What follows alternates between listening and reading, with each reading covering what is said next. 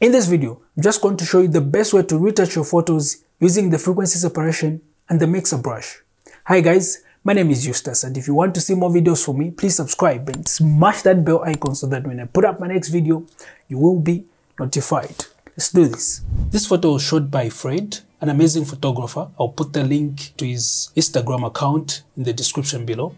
So let's start. I'm just going to fix a few things before we proceed with our retouching. I'm going to go on the background image and then I'm going to make a copy of this background image. I'm going to hold control and then place J on the keyboard. I'm going to zoom out. I'm going to hold control and then I'm going to place minus on the keyboard. I'm going to hold control plus T to free transform the image. I'm going to scale this photo just a bit. I'm going to left click and then I'll drag it up and then I'm going to place enter on the keyboard. I'm going to zoom it in. I'm going to go on this layer. I'm going to right click and then I'm going to select convert to smart object. Uh, whatever adjustments I'm going to make to this photo, I can go back and change those adjustments. So reason why I've just converted this photo into a smart object. So what I'm going to do now, I'm going to go to filter and then I'm going to select liquify. So I'm going to go on these tools and then I'm going to select this icon, the forward warp tool. I'll make the brush a little bit bigger using the brackets on the keyboard like this. And then I'm going to left click here and odd and then I'm going to drag it out like that. I'm going to drag this part out like that. I'm going to make the brush a little bit smaller. Then I'm going to zoom it in. So I'm going to left click and odd here and then I'm going to drag it out like that. Left click and odd and then drag it out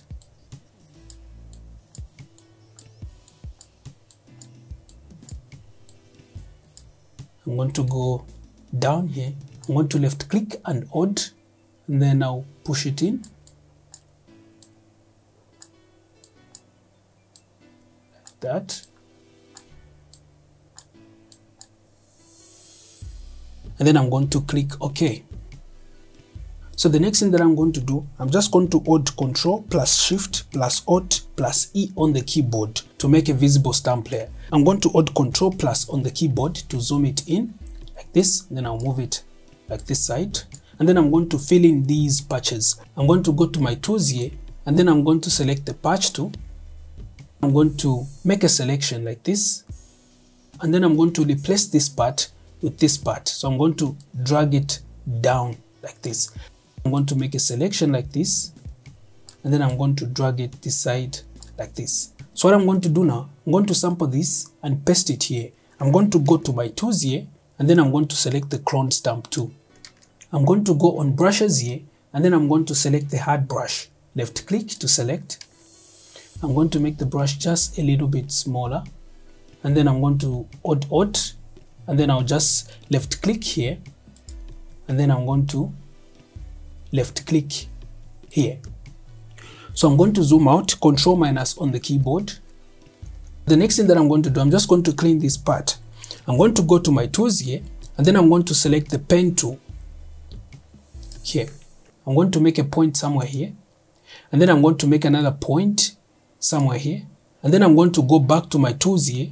On the pen tool, I'm just going to light click so that I can see other pen tools that I can use. So I'm going to select the curvature pen tool here. I'll make a point here and then I'll push it in like this. And then I'm going to go back to my tools.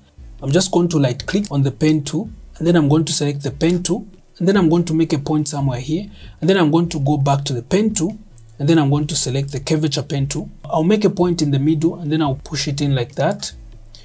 Select the pen tool and then I'm going to make another point here.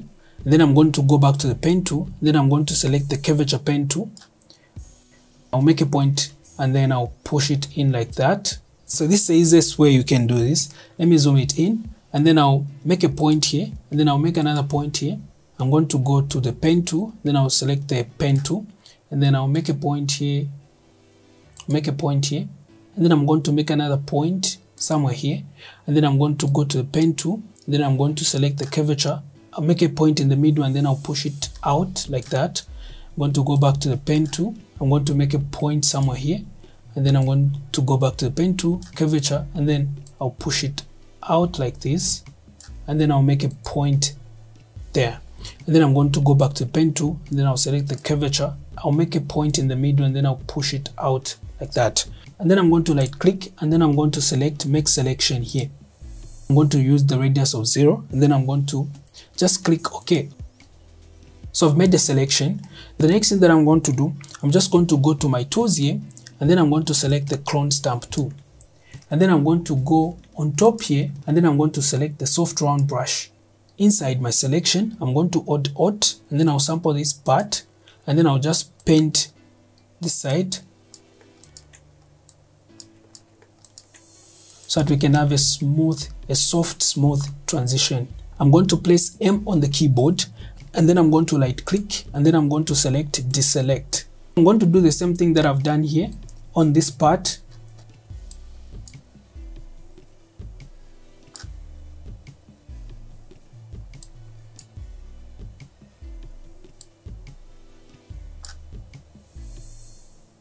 I'm going to do the same thing that I've done here, even on this part.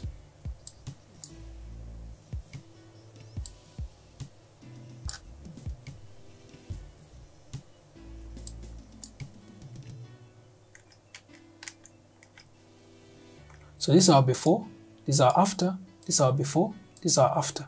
So the next thing that I'm going to do, I'm just going to remove some of these blemishes. I'm going to go to my tools here, then I'm going to select the patch tool I'm going to make a selection. I'm going to select this, and then I'll drag it down. Uh, I want to replace it with this clean part. I'm going to let go, sample like that, drag and then let go. I'm going to zoom out.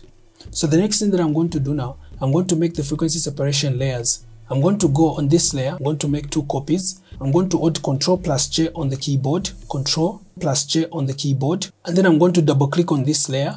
I'm going to name it color slash low frequency and then I'm going to double click on this layer and then I'm going to name it textures slash high frequency I'm going to disable the texture layer and then I'm going to select the color layer I'm going to go to filter and then I'm going to select the blur and then I'm going to select the Gaussian blur I'm going to drag the radius value to 0.1 I'll start pushing it up until I stop seeing the textures but I can see the features of our face so I'm going to select the radius of 7 and then I'm going to select the texture layer I'm going to enable it. I'm going to click on this eyeball and then I'm going to go to image and then I'm going to select apply image.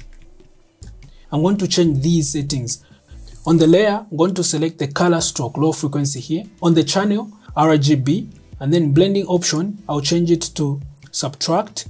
Opacity 100%. So this one, I'm not going to check it. Even this one, I'm not going to check it. Scale, I'll use the maximum scale of 2. Offset, I'll set it to 128. Invert, I'm going to uncheck this. And then I'm going to click OK. On blending option here, I'm going to select the linear light.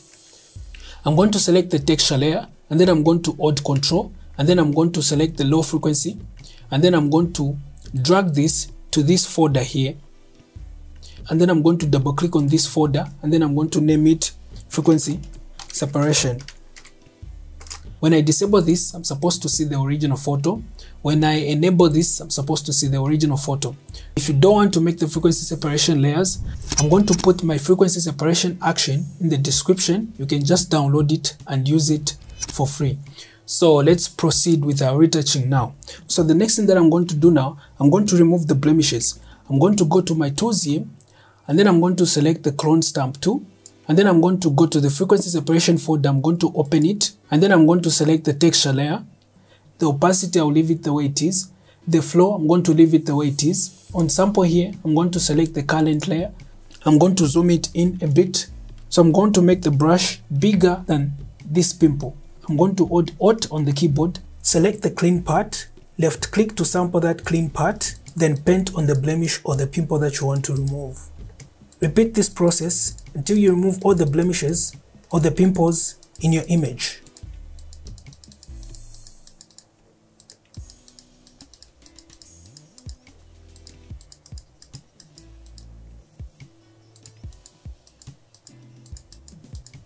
So these are before, these are after, these are before, these are after. So let me disable the texture layer. Let me just click on this eyeball.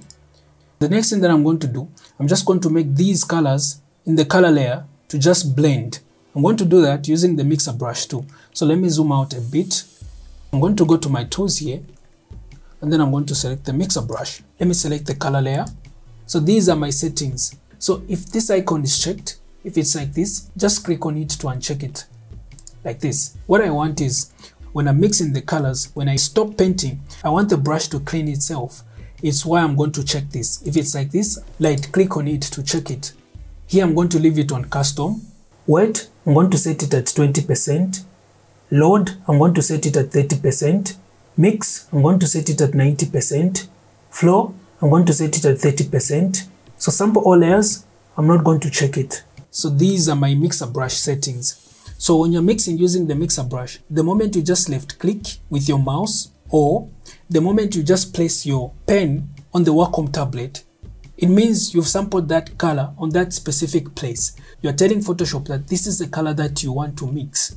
So when you left click on a specific place, don't let go of that click, just hold it and then keep mixing like that. When you're done mixing that part, that's when you let go like that and then you move to another place, you left click and hold, and then you mix that place. When you're done, you let go. You select another place, you left click and hold, mix that place, and then when you're done, let go, and then keep doing that process. Let me undo this, Control Z1, Control Z2, Control Z3. Again, when you're mixing, mix according to the shape of the place that you are mixing. So if I'm mixing this side, I'm going to drag my mouse this side and then I'm mixing like that. Let me undo this. So I'm going to go on top here. I'm just going to select the soft round brush. So another thing that you can do to guide you with the mixing, just go to adjustment layer on this circle and then select the black and white adjustment. I'm going to drag this. I'm going to put it here on top. I'm going to push the reds down like this and then I'm going to push the yellows this side I'm going to push the reds this side this is going to guide me with the mixing I can see I need to blend these colors and then I also need to blend these colors. I need to even blend this part. If you trust your eyes that much you can just mix like this. I'm going to remove this. I'm going to go to my actions. I'm going to use my dodging and burning checker. I'm going to put it on top here.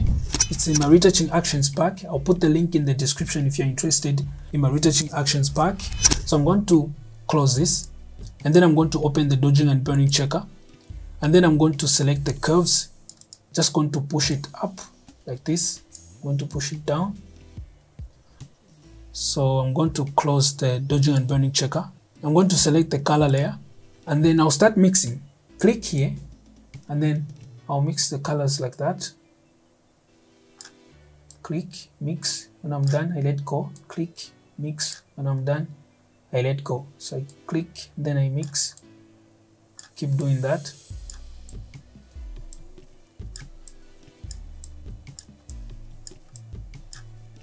So mix according to where the colors are. So when, when you're mixing the highlights, or the brighter part, just mix the brighter part. When you're mixing the darker part, just mix the darker part.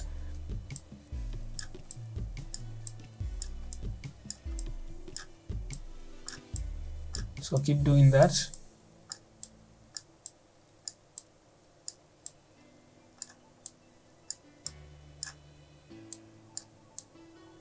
You mix when you're done, you move to another place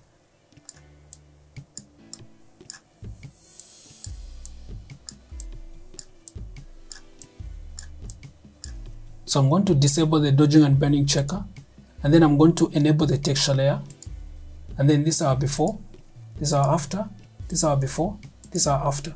So I'm going to proceed with, uh, with the mixing. Uh, this time I'm not going to use the dodging and burning checker. Just keep mixing the colors like that. I odd.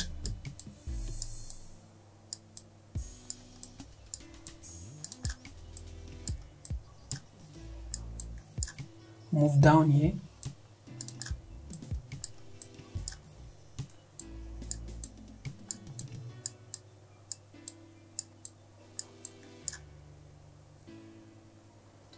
So these are before, these are after, these are before, these are after. So I'll make the brush a little bit bigger and then I'll keep mixing. let me disable the texture layer so that I can see what's happening.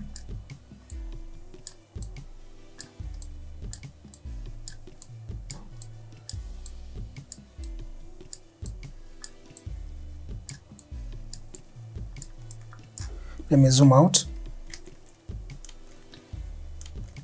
And then I'm going to enable the texture layer so this is our before this is our after this is our before this is our after.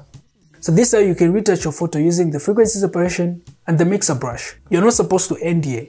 You can do the dodging and burning. You can do the color grading. If you want to learn the best way to do the dodging and burning you should check this video on top. And if you want to learn how to retouch using my retouching actions pack you should check this video down here. I'll see you in the next one.